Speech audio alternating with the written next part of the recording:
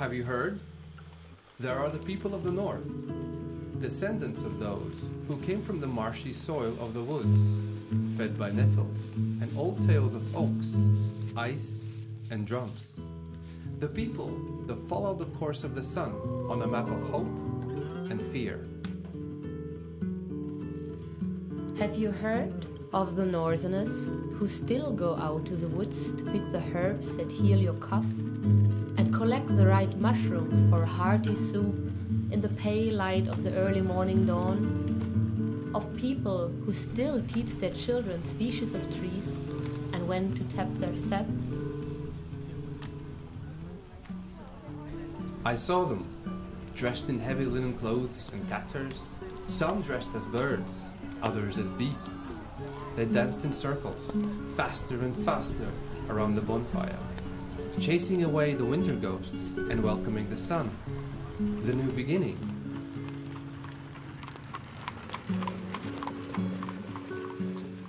I saw them tending to their gardens with pride on their faces, planting their food with dirty hands, even though the grocery shop is just around the corner.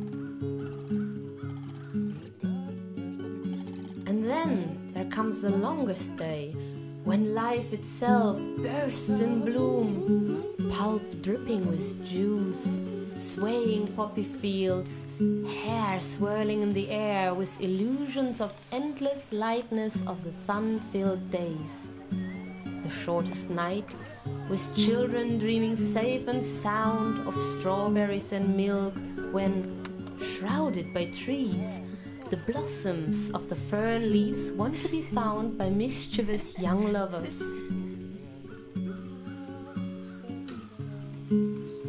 And what about the moon? Are they still looking at the moon? That pale face, holding the power to make our crops grow and move the gigantic masses of water in our seas.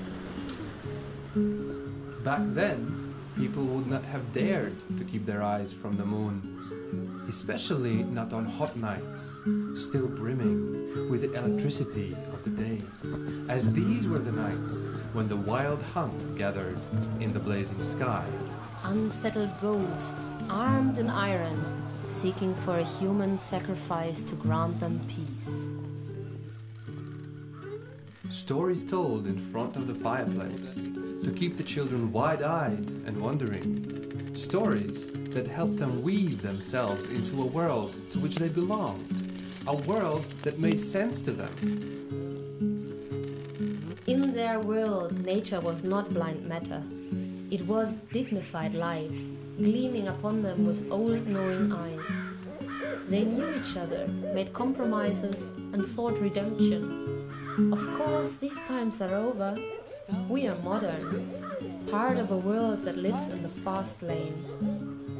We don't want to abandon the comforts we've acquired. And yet, I know some who are seeking for contact with the raw and the real. The old traditions speak to something very old and hidden deep inside of them. They want to relearn how to notice all the stories being told around them.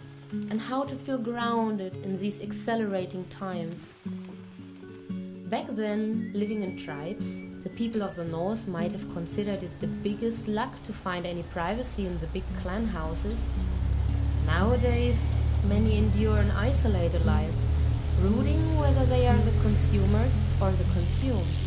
We have gone too far, leaving enormous trouble for humans and nature in our wake.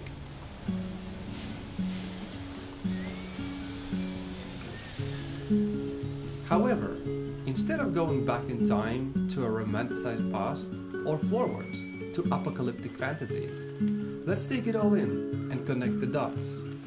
We have to be like the third son in the fairy tales curious, creative, and filled with values that carry him through life.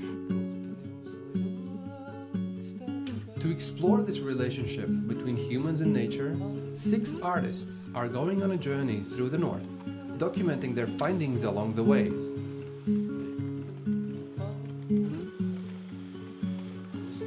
We will all walk on northern routes